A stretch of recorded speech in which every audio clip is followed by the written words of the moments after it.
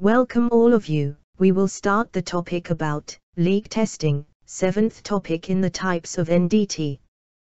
This is a free certified YouTube course. Subscribe the channel for updates on new topics. What is leak testing? Leak testing is a form of non-destructive testing used in either pressurized or evacuated systems and components for detection and location of leaks and for measurement of fluid leakage.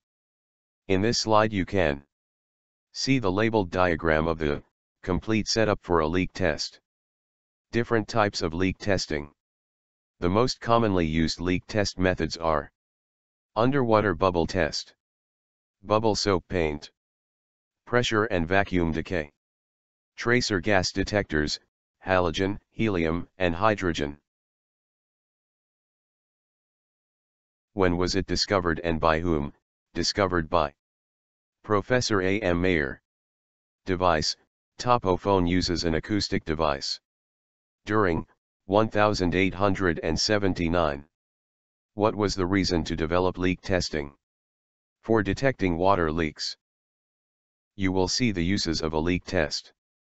Imperfection or manufacturing defects such as hole, crack, weak seal.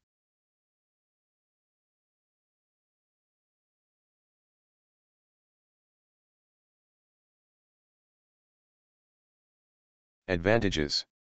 Very fast for large leak rates, best for checking size of fluid slash air path. Non-operator dependent and test data can be obtained. Disadvantages. Sensitivity, accuracy of readings, more costly than pressure decay testing. Innovations. This leak test system simultaneously determines leak location and total leak rate. The Falcon leak test system can find a leak and measure the leak rate simultaneously. You will see a live visualization of a leak test in next slide.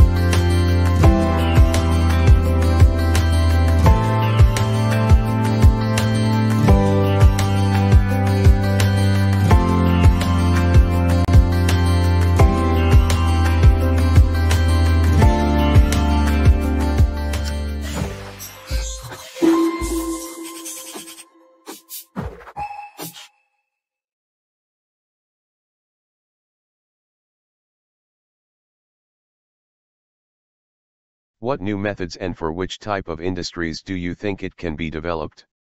Write in the comments below. Steps to complete course. Watch complete series.